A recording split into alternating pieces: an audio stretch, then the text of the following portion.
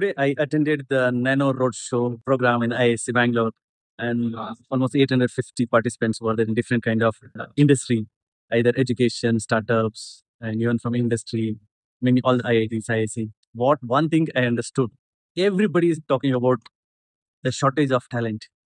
If India want to make this time successful, India has failed to do the semiconductor in 1970. Also, it has failed in 1980 although HCL made the first semiconductor chips uh, in India. So, but still, again and again, India has failed. But this time, if it wants supposed to be successful, Indian talent has to go ahead. And also, I learned for every million Indians, there are only 300 scientists.